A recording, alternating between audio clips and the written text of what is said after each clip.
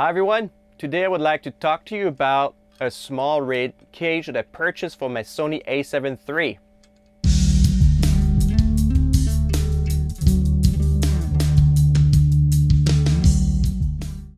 Okay, so first off I just want to say that I wasn't sponsored by any means by SmallRig and it's my opinion, my opinion on the kit that I purchased. I'll show you why I purchased the specific kit and I'll show you how to disassemble, assemble, and features. And I'll show you my rig out in the field to give you an idea how the whole setup work once you put the camera in it and everything else.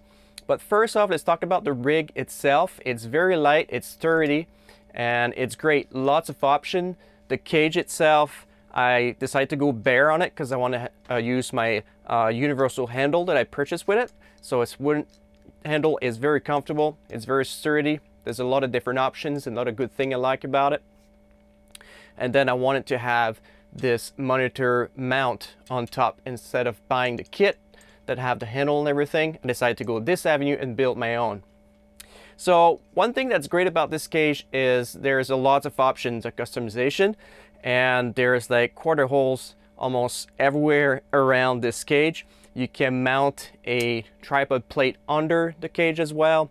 There is uh, this monitor mount, have a mount on there and it's two positions for this. I could put it right here or right there. I'll show you in a close up in a second. Now there is holes all over the place. So I bought some uh, SmallRig quarter inch male to male screws because I have a plate come in.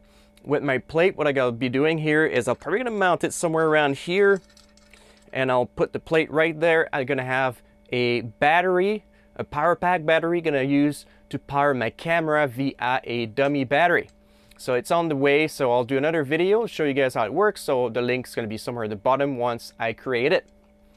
And then uh, you can choose different handles. And I decided to go with the universal handle for a reason. Uh, it's so easy to customize where the handle is going to go. You can put it on either side of the rig. There's holes that's going to make it work on both sides. So that's a question I had when I first uh, purchased the handle. I was looking online to see if I could mount this onto the A7 III cage. And yes, you can put it on either side and there's different ways to move the actual arm up and down. So I'll show you a little um, quicker time lapse how to do that in a second. The, the handle itself, I have a cold shoe on top and as well two quarter inch and a three eight inch holes so you can mount different things as well. You can have a little bracket in the side, put your monitor somewhere around here if you want. And that's pretty much it. So I won't elaborate too much on this. The only thing I'm gonna say is all the holes that are situated on the cage are perfect. All the like on the camera all the compartments open and the little doors don't get caught in anything that's designed perfectly. One um, bad reviews i had uh, read online is once you insert the camera you get the screws at the bottom. And basically what happened is the camera was shifting a little bit.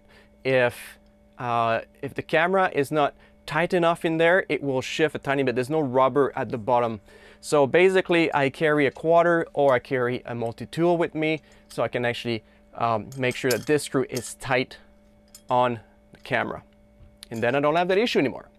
Okay, so I will go ahead and dismantle this and do a little uh, quick time lapse to show you how you can uh, pretty much take this uh, handle and move things apart and around and then I'll come back and then we'll quickly gonna go after that take a look at my rig out in the field.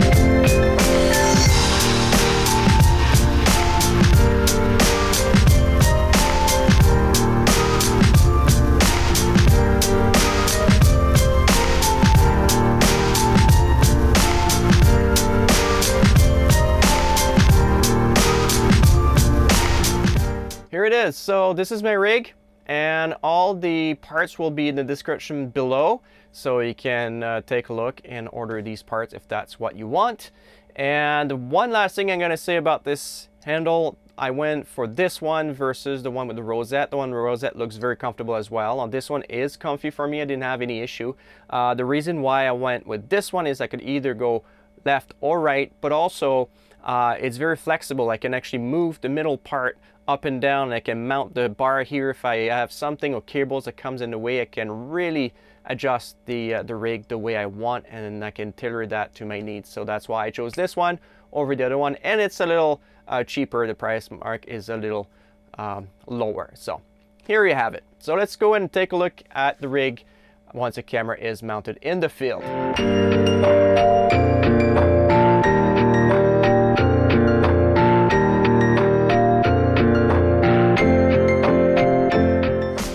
Just shooting a few b-roll right now and I want to show you my rig. So I've been shooting for three, uh, two days, sorry, we're out here for three days and we're shooting for Grey Wolf Expeditions.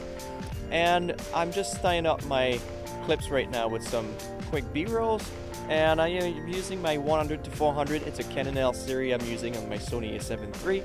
But primarily I want to show you what I use, what you see right there. So I'm using the SmallRig cage, the a7 III cage. I have the universal handle and I have a little mount for my monitor. So I am using the FeelWorld F6. So it's a 5.7 inch monitor, it's 4K, and this has been a real jam this weekend. For sound, I am using the Zoom H4n Pro, and this worked great. I don't have a shotgun mic at the moment. I'm just recording the sound straight from the microphone. That comes with the unit, and it works great. So it's very versatile. I can just take that off the tripod.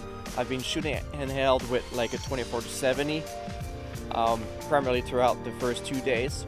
But this is a good, quick setup that I carry around a lot.